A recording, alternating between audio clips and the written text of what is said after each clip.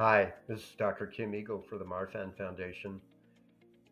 Have you ever wondered why there are certain families with genetic uh, aortopathy with classic features of one of the uh, known uh, genetic abnormalities like Marfan syndrome, where the routine genetic testing doesn't come back with a positive finding? I was always perplexed by this, um, but a recent uh, meeting we had in Tromsø, Norway, a presentation there shed uh, light on this.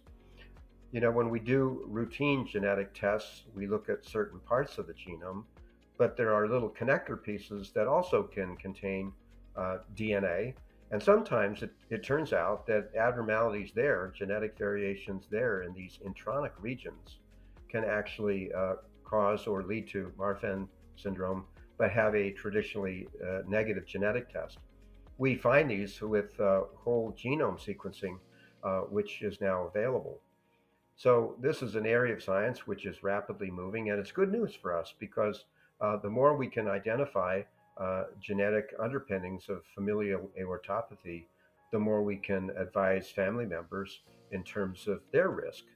So, this is a wonderful uh, part of how the scientific community continues to build the knowledge base that's helping our patients and families move forward. This is Kim Eagle for the Marfan Foundation, and I'm out.